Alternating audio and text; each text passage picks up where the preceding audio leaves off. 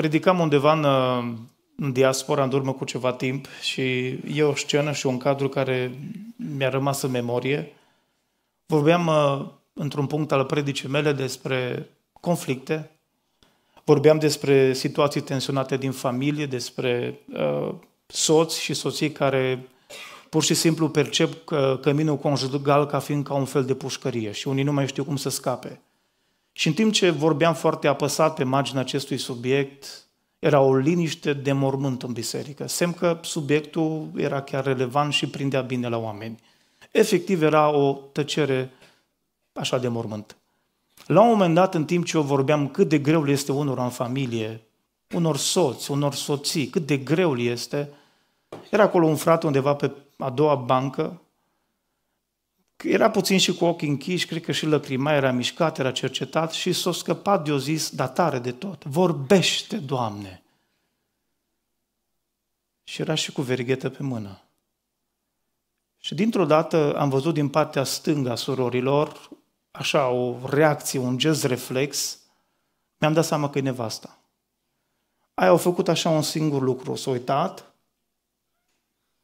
și o dat un hint, așa, pe linie. Ăsta săracul închis ochii și așa a făcut. Doamne ajută-mă! Îmi imaginez ce i-a vorbit Domnul acasă. Vedeți dumneavoastră, sunt lucruri frumoase care încep în viață și uneori nu continuă prea frumos. Adevărul este că de când oamenii vorbesc de la Adam și Eva încoace, deși Domnul ne recomandă să vorbim între noi cu psalm, cu cântări duhovnicești și de laudă, Adevărul, dragii mei, este că în natura uh, umană există această tendință spre, spre conflict și de foarte multe ori limbajul nostru este încărcat cu cuvinte care nu zidesc, ci cu cuvinte care dărâmă. Și de foarte multe ori se ajunge foarte ușor la conflicte și la fel și fel de stări. Acum, suntem la biserică și încercăm să oferim soluții. Despre asta este vorba. Încercăm să oferim o alternativă. Pentru că dacă lumea te încurajează să te exprimi, să dai frâu la tot ceea ce simți, să spui ce crezi, și uneori lucrul acesta duce la adevărate tragedii și drame și frângeri și distrugeri și familii distruse. La nivel de biserică încercăm, datorită cuvântului lui Dumnezeu și a voii lui Dumnezeu, să aplanăm conflictele. E adevărat că uneori, dragii mei, metodele noastre nu prea funcționează. Noi încercăm, să încercăm să fim creativi, Uh, facem cursuri de consiliere, încercăm să citim cărți care să ne ajute, dar uneori să știți că uh, există și metode foarte interesante. Am citit, de exemplu, și ceea ce vreau să vă spun acum uh, e un caz real, undeva în secolul XIII a fost construit în Bieram, e o localitate din județul Sibiu, o biserică. Sunt acele arhi cunoscute biserici fortificate din Transilvania. Și în momentul în care oamenii aceștia au construit această biserică fortificată, adică în jurul clădirii bisericii există un cerc de un zid și practic acolo sunt fel și fel de cămări, de provizii și printre ele au făcut așa o numită carceră conjugală. Și ăștia preoții au fost cu ideea, preoții de acolo. Ce însemna camera asta conjugală? Dacă la un moment dat un soț și cu o soție nu se înțelegeau, erau luați cu forța, deci dacă vorbeau de divorț, dacă vorbeau că să despar, nu știu ce, erau luați cu forța de autorități. Autorități ecleziastice și politice mână-mână. Erau duși în acea mică cameră numită carceră conjugală. Acolo însă aveau următoarea surpriză. Erau închiși, aveau o singură saltea, de paie, bineînțeles, nu vă gândiți la relaxa și dormeau. Vorbim de secolul XIV-XIII. Da? O saltea, o lingură o furculiță, fiecare câte un singur obiect. Acum, care era ideea? Fiecare trebuia să-l împartă. La început ieșeau scântei, certuri, dar vreau să vă spun că perioada medie în care erau ținute cuplurile acolo era de două săptămâni. Știți care a fost marea minune? Vreme de 400 de ani, în catastifele acestei biserici, există o cronologie acolo. Câte cupluri au intrat, cum îi chemau, uh, pe muche de a nu se mai înțelege, de a se despărți. După 400 de ani, ascultați-mă, un timp de 400 de ani, un singur caz după două săptămâni au zis, bă, divorțăm. Restul, după două săptămâni de carceră, au zis, ok, hai că cred că ne putem înțelege. M-am gândit că poate, dacă ne va ajuta Dumnezeu pe viitor, Și dacă vom construi o biserică, să gândim și o astfel de carceră conjugală, cred că ar prinde bine. uh, oamenii au încercat, repet, oamenii au încercat, dragii mei, fel și fel de soluții să aplaneze conflictele.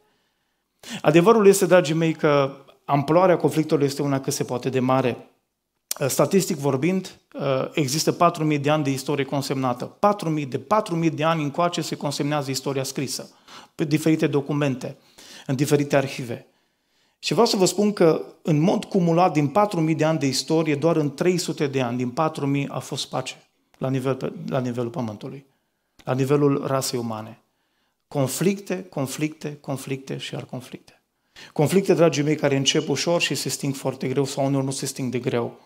Uh, se sting foarte greu. Aria, vedeți dumneavoastră, a conflictelor este foarte vastă. Sunt conflicte între soț și soție, între frați uneori de corp. Citeam un caz uh, petrecut undeva aici, noi în Ardeal, după celebra lege uh, dată în 92 de Lupu, dacă vă duceți aminte, cu reîmproprietărirea uh, foștilor proprietari, mă rog, să da pământul înapoi la oameni, doi frați din cauza unei parcele de pământ au ajuns să-și pună fir electric între ei. Da.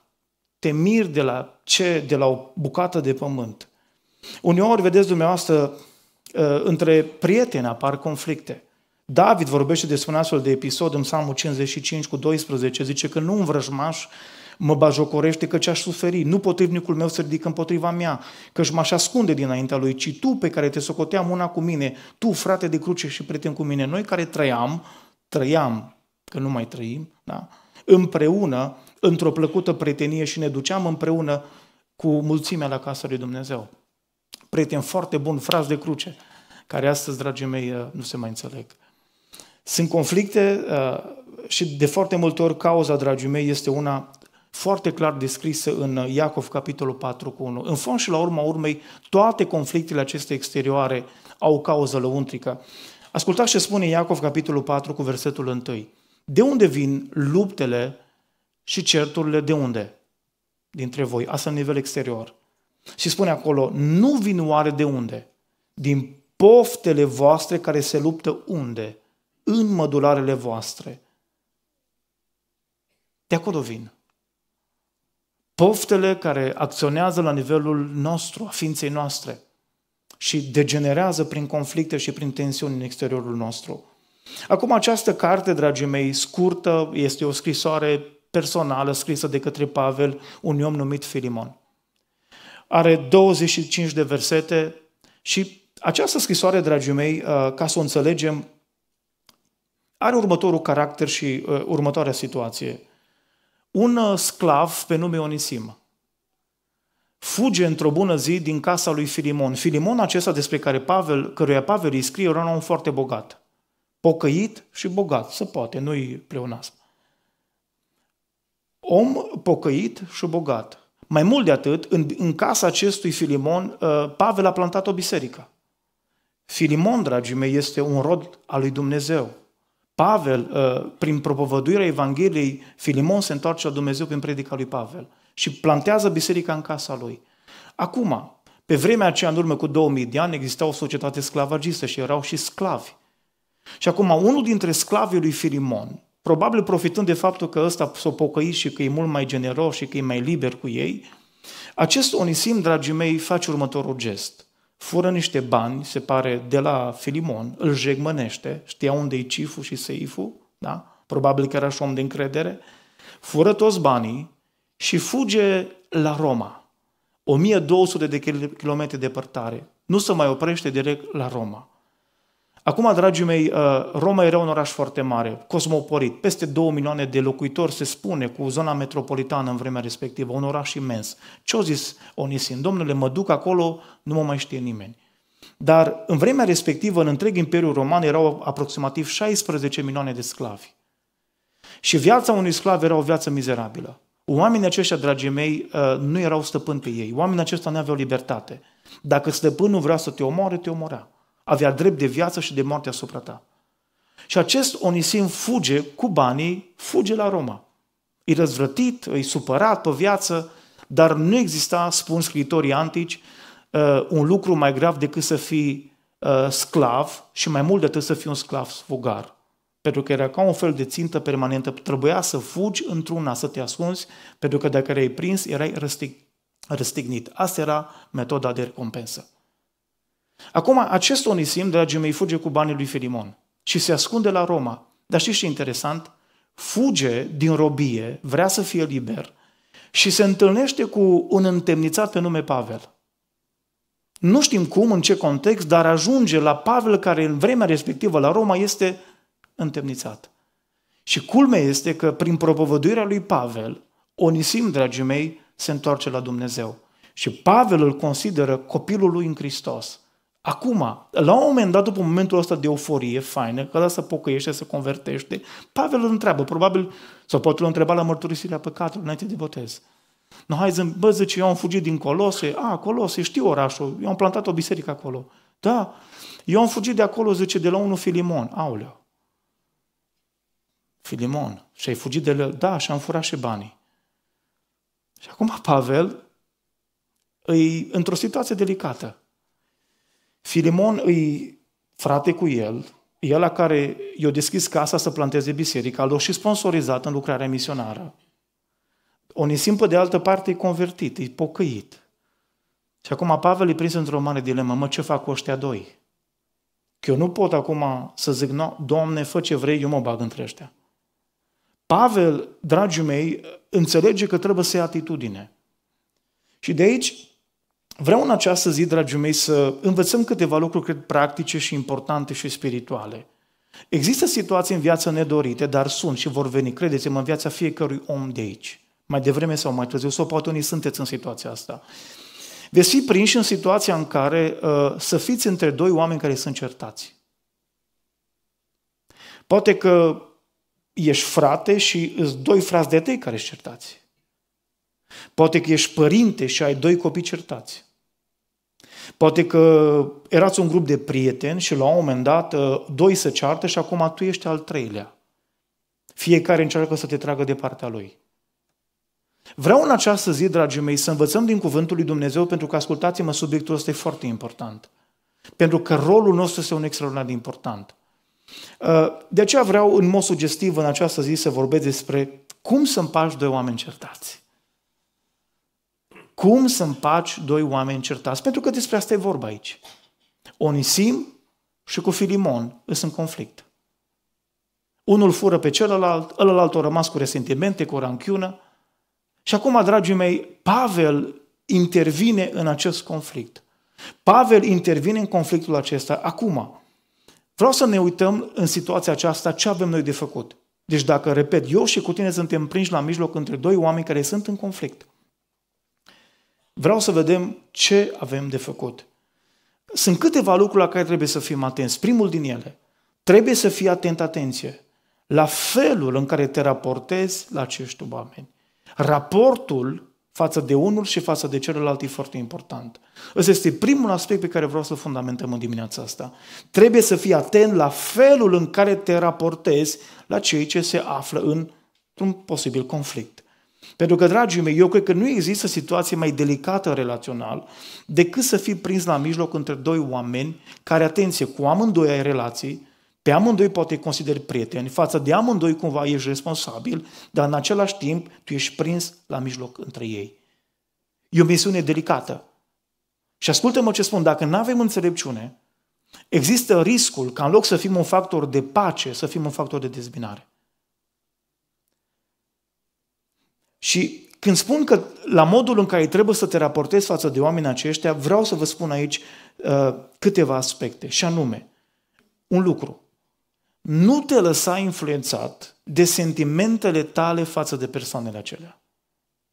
Noi de foarte multe ori gândim și acționăm, dragii mei, și reacționăm sentimental.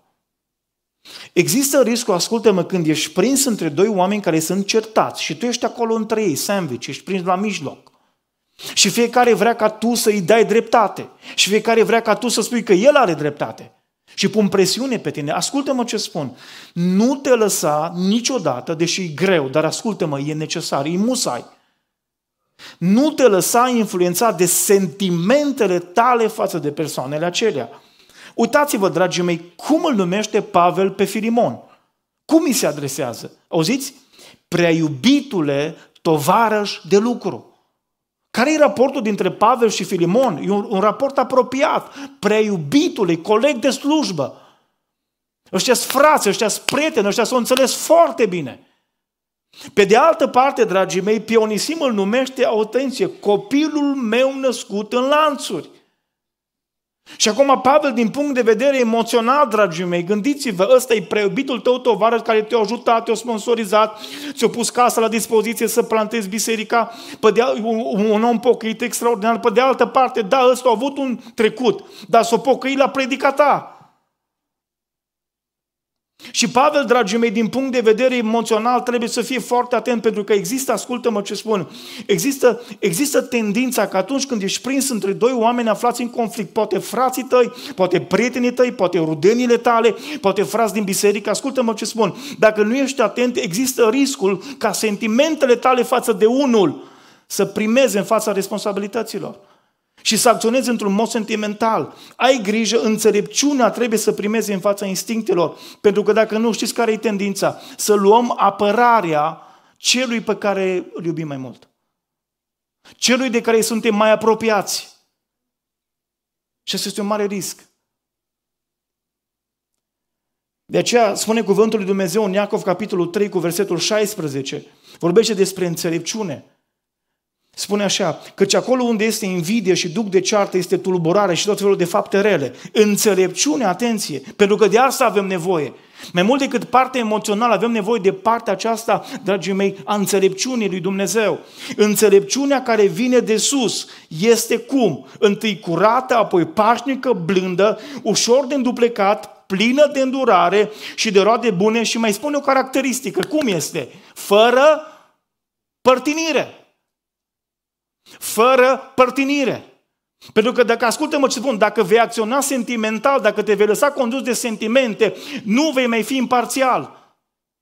Oricât de mult ai iubi pe cineva, oricât de mult ai ține la persoană, oricât de apropiat ai fi, ascultă-mă, Dumnezeu îți cere înțelepciune în fața sentimentelor. Înțelepciunea trebuie să primeze în fața sentimentelor. Pentru că dacă nu, nu vei fi obiectiv și vei risca să degenerezi acel conflict. Mai mult de atât, nu te lăsa influențat de statutul acelui om. Nu te lăsa influențat de sentimentele pe care le ai față de ei, dar mai apoi, ascultă-mă, nu te lăsa influențat de statutul pe care oamenii aceștia le au. Pentru că, uitați-vă, e o mare discrepanță între statutul social pe care cei doi oameni îl au. Unul cei, unui, unui proprietar de sclavi, îi bogat, e un om prosper de afaceri, care în societate e în vârful piramidei, celălalt ce este? Un sclav, un fugar, din punct de vedere social, al statutului social, unui pe Everest, unui mare moartă. Și ascultați-mă, tendința noastră, dacă nu avem înțelepciunea lui Dumnezeu și dacă nu avem echilibru, este să ne lăsăm influențați, știți de ce? De statut. Bă, ăla îi... Ăla, uite-te, na, ăla are, ăla ne-a ajutat, ăla a făcut. Acum, tu taci din gură. Chiar dacă poate ăla are dreptate. Există tendința, dragii mei, și Pavel se sizează lucrul ăsta. Credeți că lui Pavel a fost ușor să gestioneze situația asta? Nu, dar tocmai de aia vreau să învățăm de la acest om al lui Dumnezeu. Că nu trebuie să te lași influențat. Gândiți-vă, Filimon un om bogat care găzduia în casa lui o biserică. Uh, uitați-vă, către, către sora Apfia, versetul 2, și către Arhip, tovarășul nostru de luptă, și către ce? Vă rog să vă uitați. Și către biserica de unde? Din casa ta. La omul ăsta acasă s-au adunat oameni, acolo era biserica. Cum să-l super? Iar un statut extraordinar, dar Pavel zice, ok, eu știu că tu ai un statut fain și ok și eu nu pocăit, dar și ăsta e om. Și trebuie să fiu echilibrat.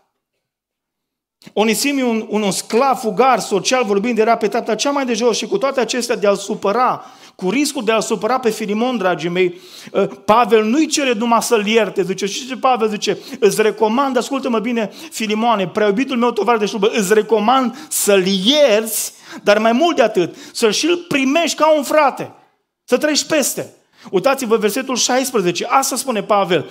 Dar zice, vreau să-l primești nu ca pe un rob, ci mai mult mai presus decât ca pe un rob. Ci cum? Ca pe un frate.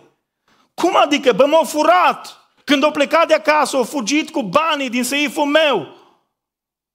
Zice Pavel, da, dar între timp s-a pocăit, l-a cunoscut pe Hristos. Eu sunt martor că el s-a pocăit. Acum așa ce rog, primește-l, dar nu ca pe un rob. Primește-l ca pe un frate. Pentru că Pavel nu ține cont de statutul celor doi. Doamne, ajută-ne la asta. Iacov, capitolul 2, cu versetul 1, spune, frații mei, frații mei, spune Iacov, să nu țineți credința Domnului nostru Isus Hristos, Domnul Slavei, căutând la ce? La fața omului. La cât are sau la cât nu are. De aceea trebuie să fim foarte înțelepți în direcția aceasta. Avem un caz, dragii mei, concret în Scriptură, acela lui Nemia, care la un moment dat ia o atitudine directă și verticală împotriva bogaților, care într-o vreme de secetă și de foamete i-au împrumutat cu dobândă pe săraci, că ei mureau de foame. Și la un moment dat, când nu mai avut cu ce să plătească, zice Biblia că i-au făcut sclavi și robi. Știți ce face Nemia? Îi confruntă pe aceștia și spune cuvântul lui Dumnezeu în Nemia, capitolul 5, cu versetul 7, am hotărât să mustru pe, pe cei mari și pe dregători și le-am zis, ce? Voi împrumutați cu camătă frații voștri? Și am strâns în jurul meu o mare mulțime și le-am zis, noi am răscumpărat după puterea noastră pe frații noștri iudei, vânduți neamurilor și voi vă vindeți pe frații voștri și încă nouă să ne fie vânduți, ei au tăcut ăștia care erau bogații, neavând ce să răspundă. Și știți ce face Nemia? Cu riscul, ascultăm să nu mai fie popular, cu riscul de a fi pusă slujba în pericol, pentru că era dregător, auziți în, în capitolul 5 cu versetul 11 spune, dați-le înapoi astăzi Dați-le înapoi astăzi ogoarele, vile, măslinile și casele și de asuta parte din argintul și din grâu și din mustul și din unde lemnul pe care le-ați cerut de la ei ca dobândă. Ei au răspuns, le vom da înapoi și nu le vom cere nimic, vom face cum ai zis, atunci am chemat pe preoți înaintea cărora le-am pus să jure că își vor ține cuvântul. Pentru că Nemia nu ține cont de statut. E foarte important când doi oameni se află într-o ceartă, într-un conflict, e foarte important să fii un factor de împăcare, de mediere. Dar n-ai voie să ții cont de sentimentele tale să primeze și în același timp nici statutul lor trebuie să fii echidistant. Apoi un al doilea lucru la care trebuie să fii atent. Trebuie să fii atent cum să împaci doi oameni care sunt certați. Fii atent la raporturile pe care le ai cu ei. Doi, fii atent la responsabilitățile pe care le ai față de ei. Pentru că față de oamenii aceștia, avem responsabilități. Pavel zice, și asta înțeleg de la Pavel, Pavel înțelege că și față de Filimon, dar și față de Onisim are responsabilități și că nu și le poate neglija și că nu și le poate declina. E o situație riscantă, puneți-vă în, în pielea lui Pavel. Adică Filimon e un om, dragii mei, care îl ajută, care îi sprijinește foarte mult. Pe de altă parte, Onisim e un om care e tocmai s-a pocăit, care are nevoie de dragostea lui Dumnezeu, trebuie să crească. Pentru că tot ce a spus Pavel despre faptul că acum suntem frați în Hristos nu e o poveste, ci o realitate. Și înțelege Pavel, dragii mei, că este responsabilitatea lui să medieze acest conflict dintre cei doi. Sunt atâția oameni care spun, bă, nu mă implic să nu mă complic. Eu nu mă implic pentru că nu vreau să mă complic, nu vreau să am probleme. Și așa am destule. Argumente de genul ăsta găsim. Dar ascultă-mă ce spun, dacă este responsabilitatea ta și tu fugi de responsabilitățile tale, nu crezi că Dumnezeu îți va cere lucrul ăsta din mâna ta? În Iacov, capitolul 4, cu versetul 17, spune cuvântul Domnului așa, atenție. Dacă. Ăsta e un argument pentru cei care, bă, nu mă bag, nu mă implic, să meargă la alții, să vorbească cu alții. Iacov, capitolul 4, cu versetul 17, spune Biblia așa. Deci, cine știe să facă ce? Bine. Și un mare bine să poți să mediezi un conflict dintre doi oameni. E o cerere de la Dumnezeu. Și nu face, ce face? Dacă stai de o mare, bă, zice, eu nu mă bag, nu vreau și așa, nu mă mai bag eu între ei, că după aia mă probleme am. Dacă alegi să stai deoparte și să nu faci nimic, ce spune Dumnezeu? Să vârșești un păcat. Să vârșești un păcat. Ești responsabil, însă ascultă-mă ce spun, care sunt responsabilitățile tale și ale mele? Suntem responsabili, dragii mei, să vedem care sunt competențele noastre în acel conflict. E foarte important să-ți vezi competența. Ce rol poți să exerciți? Competența ta în acel conflict e foarte importantă. Pentru că avem un exemplu din Biblie pe care l-am parafrazat de multe ori, Luca 12 cu 13. Unul din mulți mi-a zis lui Isus, Învățătorule, spune-i fratelui meu să împartă ce? să împartă cu mine moștenirea noastră. Și Isus îi spune, ioretează, foarte din scurt, omule, cine m-a pus pe mine ce? Judecător sau împărțitor peste voi? Adică asta nu-i treaba mea, nu-i competența mea. Putea Domnul Isus să facă medierea asta, cu siguranță. Dar ascultați-mă, există situații în care trebuie să înțelegi că nu-i de competența ta. Și există situații în care noi ne depășim competențele. Și Dumnezeu spune, fii foarte atent. Într-un conflict trebuie să vezi cum poți ajuta. Trebuie să vezi în ce măsură ai o competență în a gestiona acel conflict. De aceea ascultă-mă în situații și vreau să vă spun că în mod personal, ca păstor, au fost situații de oameni care au venit la mine să mediez anumite lucruri și mi-am dat seama că nu stăpânesc domeniul respectiv. Există spețe juridice pe care nu le cunosc. Există spețe economice pe care nu le înțeleg prea bine. Și atunci, dragii mei, de ce să mă pun eu să spun cum e când habar n-am ce spune articolul de lege? Întotdeauna aici încurajăm uh, un apel la un specialist care se pricepe. Pentru că, dragii mei, de foarte multe ori, ascultați-mă, există oameni care într-un exces de zel de, bă, nu, eu, aici m-a pus Domnul pe mine și ei s-au pus să facă dreptate, neavând niciun habar despre ce e vorba. Țin minte că am avut la un moment dat o solicitare să rezolvăm un conflict pe probleme de proprietate intelectuală. Pe domeniul de internet am zis, bă, o încerca să-mi explice, n-am înțeles. O încerca să-mi traducă, n-am înțeles. Și am zis, ok, știu pe cineva care se pricepe care în domeniu, vreau să-l chem să ne lămurim și după aceea eu vin cu partea spirituală, dar partea tehnică nu mă bag. Pentru că există excesul ăsta de zel, noi le știm pe toate. Există zone în care tu nu ai competență. Când e vorba de recomandări, ascultă-mă, trebuie să vezi care sunt competențele clare în domeniul acesta. Mai mult de atât, dragii mei, ești responsabil de un alt lucru. Să le spui celor care se află într-un conflict nu ce vor ei să audă, ci ceea ce au nevoie să audă. Ești responsabil să le spui nu ce vor ei să audă, ci ești responsabil să le spui ceea ce au nevoie să audă. Pentru că, dragii mei, lucrul ăsta este foarte important și avem un exemplu clasic în Evanghelia după Luca, capitolul 10. Domnul Isus ajunge în Betania, Isus intră într-un sat și o femeie numită Marta, spune cuvântul Domnului, l-a primit în casa ei. Ea avea o soră numită Maria care s-a așezat jos la picioarele Domnului Isus și asculta cuvintele lui. Marta era împărțită cu multă slujire și a venit repede la el și a zis, Doamne, nu-ți pasă că sora mea m-a lăsat să slujesc singura? Zi dar, spune-i să vină să mă ajute. Să mai lase predicile, să mai lase părtășia și să vină aici să dospească și să coacă aici cu mine. Și Domnul Iisus, dragii mei, probabil că dacă ar fi political correct, așa ar fi zis, mă, chiar așa, hai și tu, și tu, și amândoi să fie toată lumea bine. Nu, nu. Domnul Iisus, dragii mei, nu îi spune Martei ce vrea să audă. Și ce ar fi să audă Marta? Ai dreptate, mă. Păi chiar așa. Păi ce mă asta? Să toată ziua și tu muncești? Ia, Maria, trece aici și ajută. Asta nu fi vrut să audă Marta. Ce îi spune Iisus?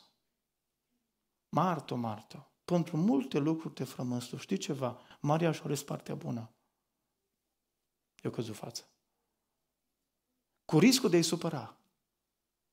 Nu trebuie să le spui oamenilor ce vor să audă, ci ceea ce au nevoie să audă. Doamne ajută-ne să avem înțelepciunea aceasta. Mai mult de atât, o altă responsabilitate aici, nu te pripi să dai soluții la acel conflict dintre ei, uh, nu te pripi să dai, uh, uh, să, să, să, să dai sentințe, caută soluții. Nu te pripi să dai sentințe. De foarte multe ori ne avem impresia după 5 minute că știm despre ce e vorba și spunem, bă, așa trebuie să fie. Și când auzi varianta aia la altă, bă, cred că m-am pripit totuși. E foarte important să nu te pripești să dai sentințe, ci să cauți soluții. Tu trebuie să fii parte a soluției și nu a problemei. Pavel încearcă, dragii mei, Pavel încearcă să, cre- să aducă soluții, nu să dea sentințe în cazul acesta. Și versetul 18 spune Pavel lui Filimon, a zis, ascultă aici, fii atent cum rezolvăm problema. El te-a furat, e adevărat, ăsta s-a pocăit. Nu acum e o dilemă teologică, ci ce de făcut? Aplicăm legea talionului, ă, legea harului. Și ce spune Pavel? Zice Pavel în versetul 18, ascultă aici, și dacă ți-a adus vreo vrătă mare, sau ți este dator, era dator vândut, și dacă ți este dator cu ceva, și ce zice Pavel, fii atent, pentru că Vreau neapărat ca voi să vă împăcați. Știi ce fac? Pune asta în socoteala mea. Trece-o la mine. Nu mai vrei să împaci pe nimeni, așa Până ce fu fain să-i împaci. Din gură nu-i rău, să-ți dai sfaturi, să-ți pui verset. Dar când trebuie să pui de la tine, Doamne, fer, nu mă bag eu, treaba voastră. Și ce face Pavel? Zice Pavel, eu mă simt responsabil ca voi doi să vă împăcați. Și pentru asta ați dispus să pierd eu. Ca voi doi să câștigați pace, eu sunt dispus să pierd, eu dispus să pierd de la mine dacă trebuie. Și ceva, zice uh, uh, Filimon, trece o socoteala mea. Îți dator eu ție, nu-i mai dator, el treci datoria lui la mine. Pentru că omul acesta, Pavel, ascultați-mă, nu dă sentințe, ci caută soluții. Caută soluții.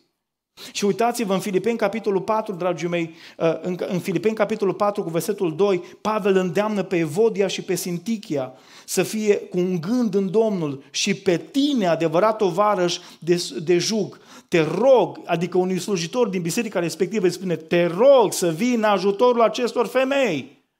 Nu sta deoparte, că ales certate și fac bâză în biserică și certate ele una cu alta și după aia vin și alții în conflictul ăsta. Ascultă aici pe tine, slujitorul Hristos, ajută-le să se împace.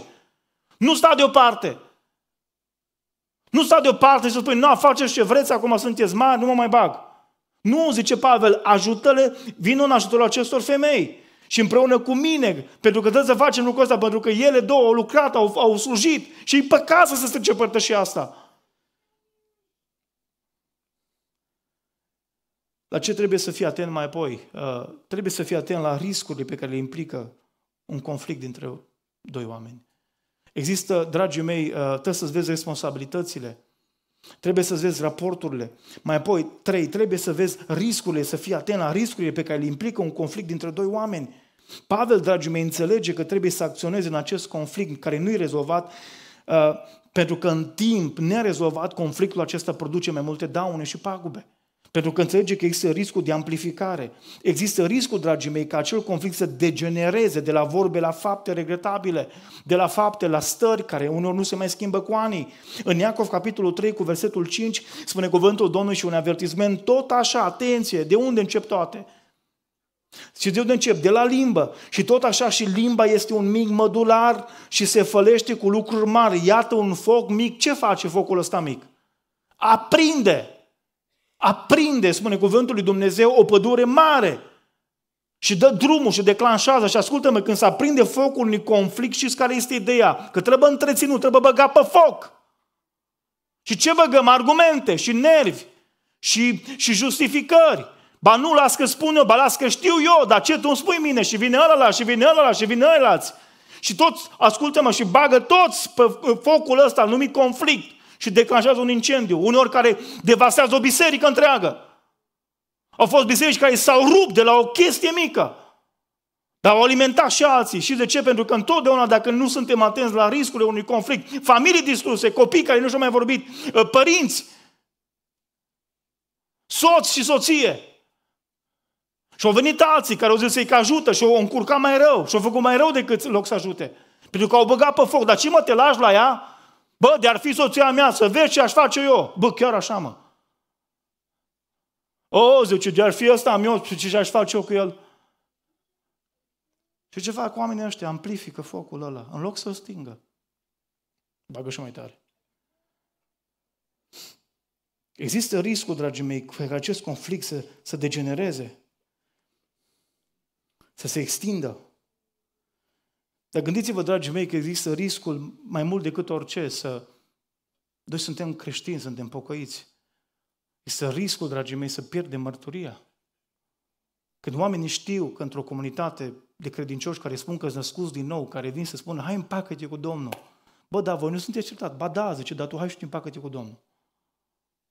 Păi nu e situație mai fariseică decât asta și ipocrită. Hai împacă-te cu Domnul, de el certa cu toată biserica. Tu împacă-te cu Domnul, dar cu celălalt Domnul e bun.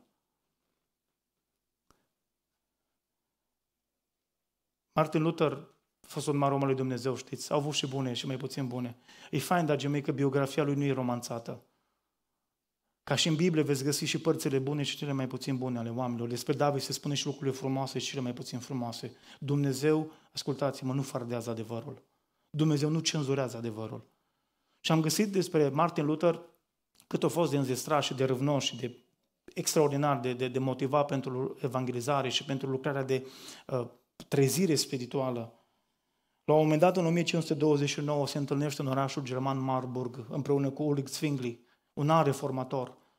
Era ideea, dragii mei, oamenii de lângă ei au zis, bă, Martin și Zwingli, hai să ne unim împreună, hai să, hai să facem front comun pentru ca lucrarea asta de reformă să pătrundă mai adânc, pentru că împreună putem face lucruri mai mari.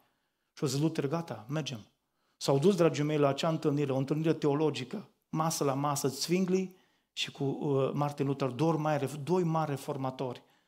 S-au înțeles de acord pe teze, sola Scriptura, solul Christus, toate, da, perfect, perfect. Au ajuns la cina Domnului. Și au zis uh, Sfingli, uite, eu, după cum interpretez în Scriptură, cred că e prezența simbolică. Să zis Luther, nu, nu, nu, nu, nu, până aici, stop, până aici. Au zis, nu, prezența reală. Nu, când ne rugăm, devine trupul și sângele Domnului. Și au zis uh, uh, Sfingli, omule, uite-te, cu, da, uite-te, teologic. Nu, au zis Martin. O luat uh, un pahar, nu vă spun ce conținea, că unii vă, vă pierde. O luat așa un pahar și o dat tare pe masă și a zis, acesta este trupul meu, acesta este trupul meu. Și o dat de vreo 10 ori și a urlat până l-au plecat. Sfingli s-a luat și a plecat, bă, cu ăsta n-ai cu cine? Și povestea mai târziu Melanchthon, un prieten de lui Martin Luther, povestea într-o scrisoare, au zis, ce trist, ăla a fost un moment pierdut pentru biserica creștină. Un moment în care am fi putut să facem lucrarea lui Dumnezeu la un nivel mult mai mare. Mai târziu Martin s-a certat și cu, uh, și cu Erasmus de Rotterdam, un alt reformator, că au avut, din păcate, anumite chestii ăsta, nu putea să lase nimic de la el. Există oameni, dragii mei, ascultați-mă, care foarte înzestrați, foarte cu dar care nu reușesc să gestioneze un conflict. Și de foarte multe ori, dragii mei, din cauza conflictelor noastre, noi nu reușim să înțelegem că pierdem ansamblu, lucrarea lui Dumnezeu pierde.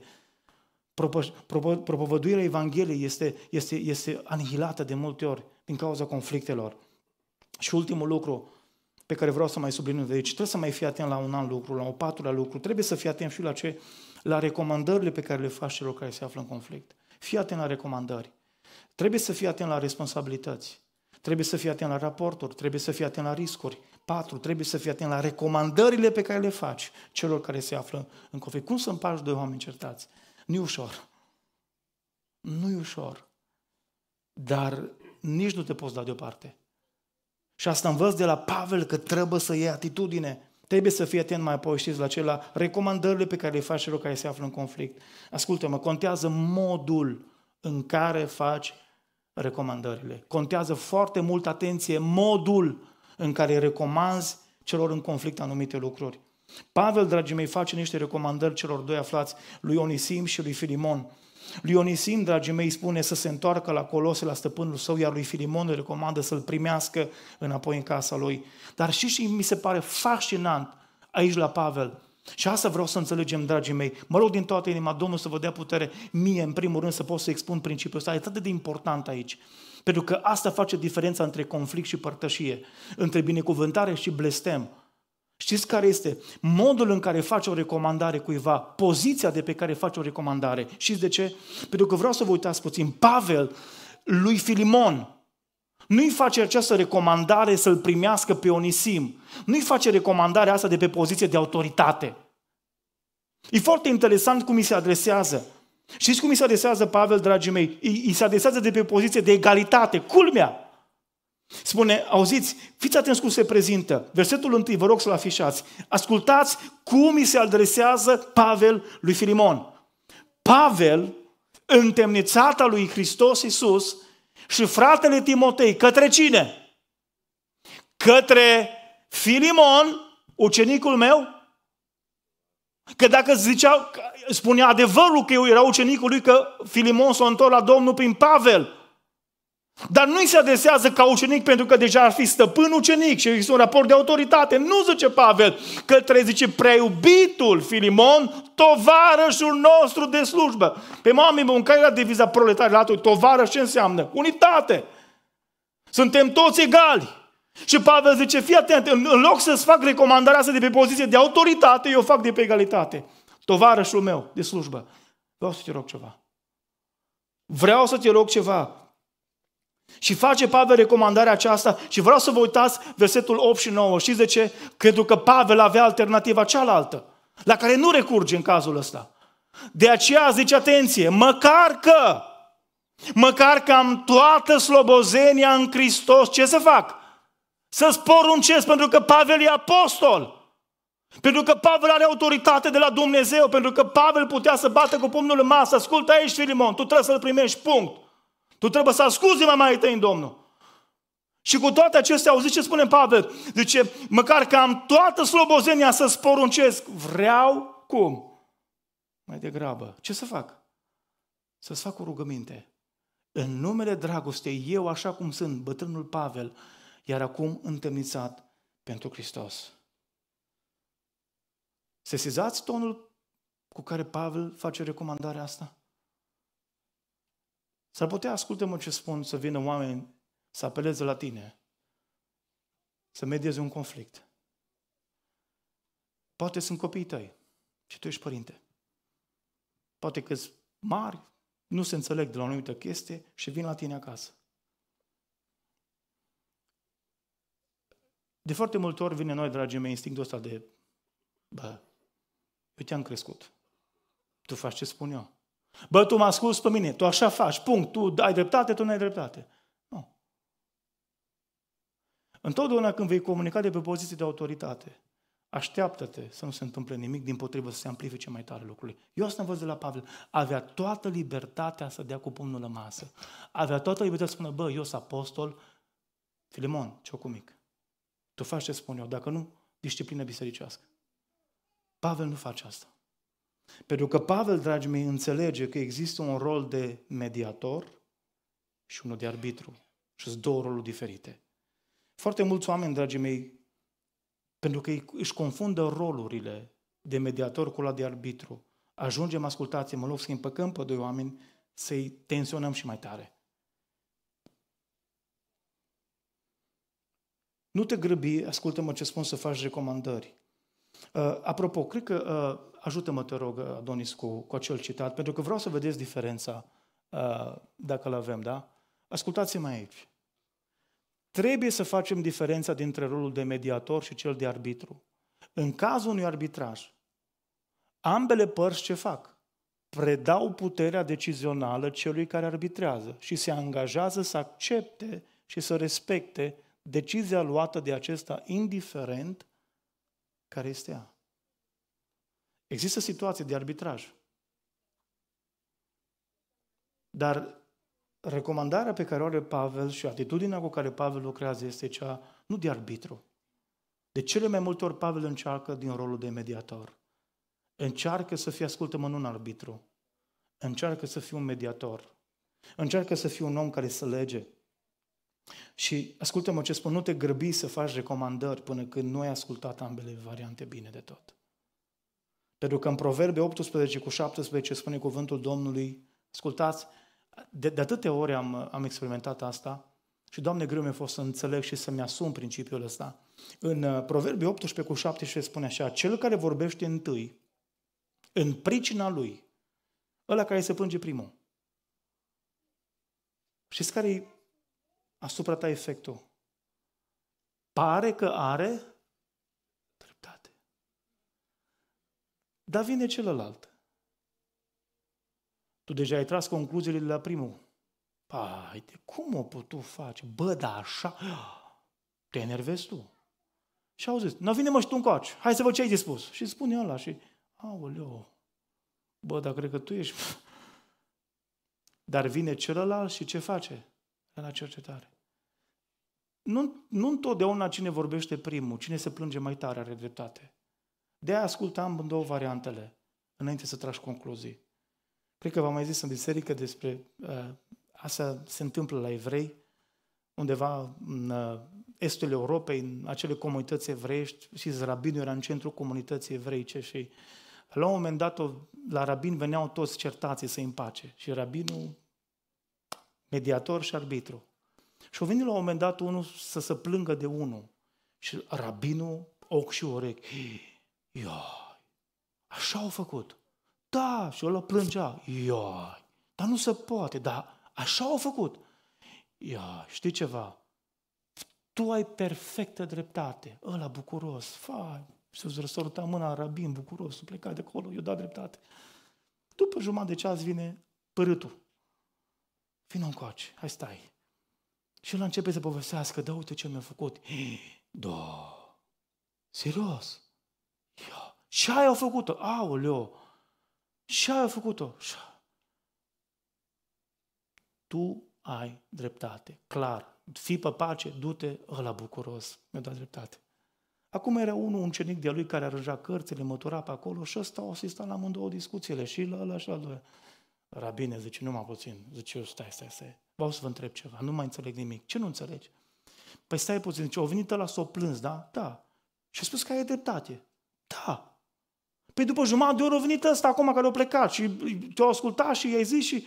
Cum adică i-ai dat și lui dreptate? Păi nu mai înțeleg nimic. Păi ce asta? Știi ceva? Ce? Și tu ai dreptate.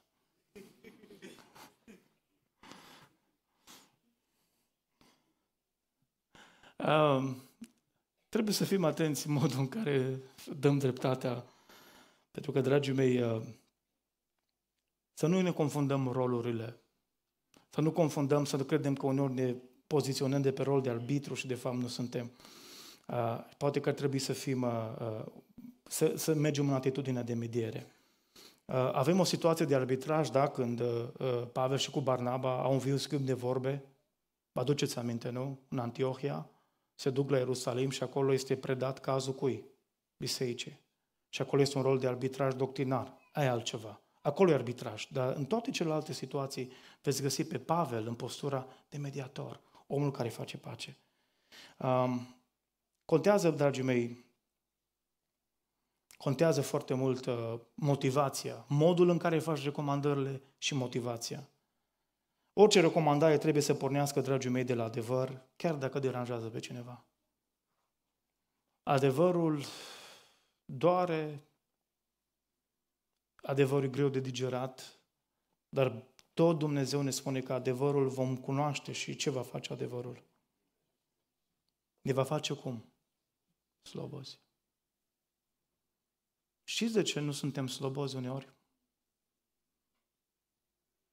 Pentru că nu vrem să auzim adevărul. Nu suntem slobos pentru că preferăm să ne mințim pe noi înșine.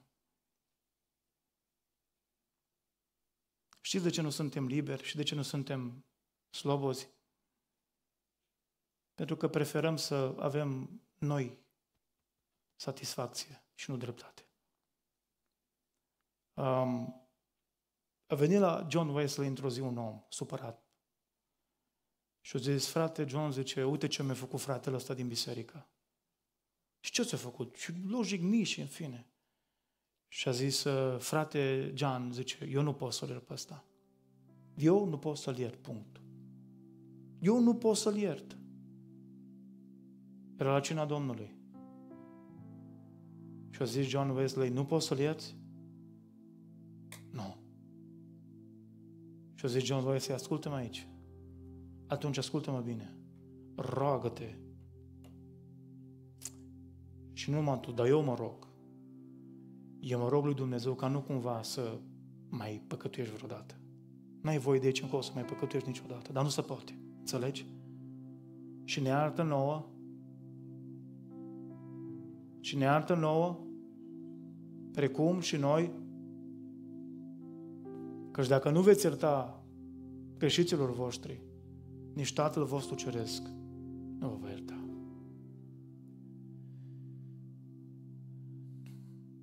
Știți cât de greu este să mediezi un conflict? Vreau să vă spun ceva. În anii aceștia de slujire am avut situații, crize, pe care trebuie să le mediez. Nu întotdeauna poate am fost cel mai inspirat. Uneori m-am lăsat condus de emoții, de sentimente. Alteori poate de statut alteori de argumentele care sunau foarte bine împachetate emoțional. Dar am mai trăit un paradox. Știți care e un mare paradox? Există oameni care îți certați, încerci să-i împaci. Ăia dorm liniștiți și tu nu mai poți dormi. și tu nu mai poți, nu mai ai somn noaptea, nu mai știi ce să faci, cum să faci, să-i aduci la părtășie. Ei dorm și întrebă, cum ai dormit? Bine, zice. M-am descărcat, zice, ieri am vorbit cu tine, m-am descărcat. Întreb pe ăla, acum, e bine, frate? Nu. No. Eu îs liber acum. S-am mărturisit, îs liber. Și eu sunt încărcat. Și nu dorm două nopți. Știu și te înțeleg cât e de greu uneori să mediezi conflicte. Știu cât de greu a fost lui Pavel să scrie lui Filimon scrisoarea aia. Că Filimon a fost un prieten și un tovarăș credincios. Că Filimon l-a ajutat cu tot ce a avut. Le-a zis Pavel, dacă nu i-aș scrie lucrurile acestea, n-aș mai respecta cuvântul lui Dumnezeu. Ascultă aici, Filimone, primește-l ca pe un frate. Și știi ceva? Dacă trebuie plătit, plătesc eu. Știți de ce oamenii nu vor să medieze conflicte? Pentru că nu vor să plătească prețul. Nu mă implic să nu mă complic.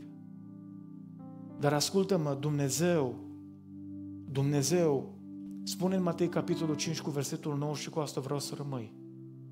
Matei capitolul 5 cu versetul 9, știți ce spune cuvântul lui Dumnezeu? Ferice. Și de cine? Ferice de ei care stau deoparte și nu se bagă. Ferice de ei care sunt înțelepți și nu se implică. Și ce spune Dumnezeu? Nu, nu. Ferice de cei împăciuitori, că cei vor fi chemați cum? Fii ai lui Dumnezeu. Vrei să fii fericit? Când vezi doi oameni în conflict, când vezi doi oameni în tensiune, nu sta deoparte. Vrei să fii fericit? Vrei să fii copilul lui Dumnezeu? Pune mâna și pe unul și pe celălalt și adui. Vrei să fii copilul lui Dumnezeu? Fii întotdeauna un factor de mediere. Încearcă să-i atuni, nu să desparți.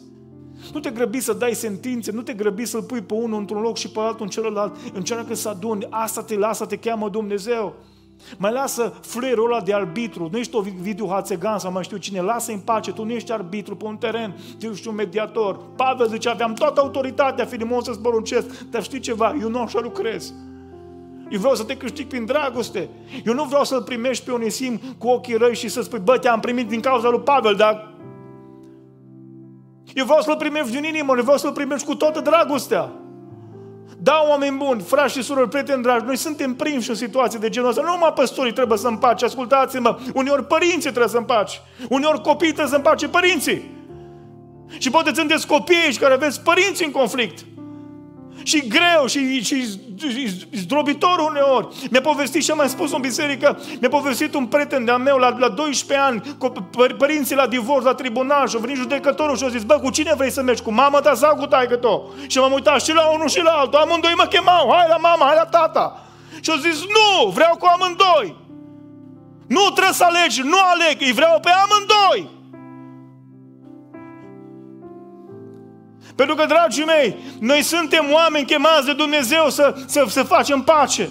Suntem chemați de Dumnezeu într-o lume a conflictului, atenție, atât de ușor să rup relațiile, atât de ușor oameni care s-au înțeles bine ani de zile, de la o vorbă. Un mic foc, zice Biblia, prinde o pădure mare și un incendiu. Și se incendi în familii, și se incendi în biserici, și se incendi în societate. Dumnezeu mă cheamă să fiu în postura asta un om care să stingă focul. Și uneori, ascultați-mă, cu mâinile noastre, uneori trebuie să ne ardem, să stingem focurile acestea. Trebuie să fim primi în linia asta să stingem focurile. Dar știu că Dumnezeu spune că e ferice de mine, e ferice de toți aceia care înțeleg că trebuie să se implice. Haideți să ridicăm în picioare în dimineața asta și vreau să te rugăm Domnului. Știu că sunt tensiuni, știu că sunt certuri, poate că în proximitatea ta, în apropie de tine, sunt oameni care au nevoile acestea. Sunt oameni care îți certați. O mică chestie dacă s-a rezolvat, o mică chestie dacă ar mediau cineva, s-a rezolvat problema. Așteaptă unul după altul. Ascultă-mă, uneori aia care sunt conflict, nu o să meargă niciodată unul altul. Du-te tu și adu împreună. Încearcă să creezi un cadru, fă ceva, cere de la Dumnezeu putere. Pentru că Duhul lui Dumnezeu, pentru că Duhul lui Dumnezeu este peste cei care caută pacea. Întrucât atârnă de voi, trăiți în pace cu toți oamenii, fiți făcători de pace. Pentru că Dumnezeu ascultă-mă, nu rămâne indiferent. Dumnezeu ascultă. Nu ai sentiment, vreau să vă spun ceva. Cele mai mari satisfacții, printre cele mai mari satisfacții pe care le-am avut în viața mea de slujitor, vreau să vă spun din toată inima, poate cele mai mari satisfacții din viața mea de slujitor, alături de, alături de convertirea unor oameni, a fost experiențele acelea în care am putut să contribui la renovarea unei relații. Și știți de ce? Pentru că atunci când s-au împăcat ei, am avut și o pace. Și au avut și biserica, și au avut și comunitatea, și au avut și familia. Și au avut de câștigat lucrarea lui Dumnezeu. Aș vrea să ne rugăm în dimineața asta, Doamne, ajută-mă să fiu un factor de pace. Ajută-mă să fiu un element de legătură. În numele lui Isus Hristos vreau, Doamne, să fiu asemenea lui Pavel. Aș vrea să ne rugăm Domnului pentru asta și să facem cu toată inima.